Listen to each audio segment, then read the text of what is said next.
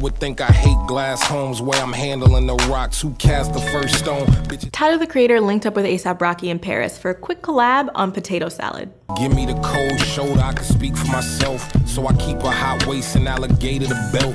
In the past month, Tyler's been rhyming over a lot of people's songs. On Potato Salad, the duo rap over Monica's 2003 track, Knock Knock, which is produced by Missy Elliott and Kanye West. Ye also remixed it on his early aughts mixtape, Kon the Louis Vuitton Don. I can't keep knocking and keep rocking and keep popping.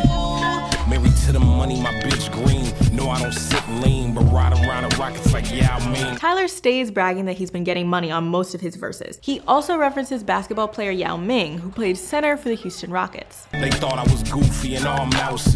Double C my luggage and fill 'em with comb blouses. Tyler's known for his sense of humor and joking nature, but he wants people to know he's leveled up. Tyler's also become somewhat of a fashion icon over the years. He's headed both his own fashion shows and clothing brands. Got my vans on, but they look like sneakers. Flipped a couple packs, Based God, and the speakers. On his verse, Rocky shouts out Lil B the Based God by referencing his breakout song with the pack, Vans.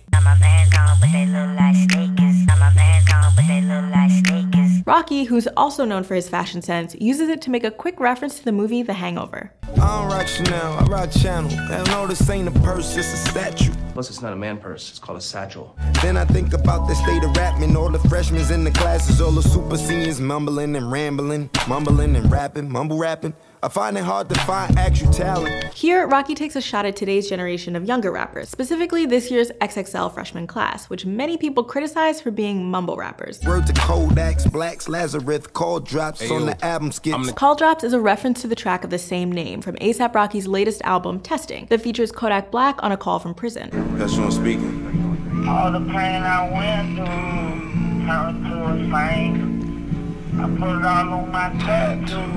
Fans are looking forward to WANG$AP, a possible collaborative project from Tyler and Rocky sometime in the near future. But Tyler tweeted that maybe we shouldn't get our hopes up just yet. I'm Tia with Genius News, bringing you the meaning and the knowledge behind the music.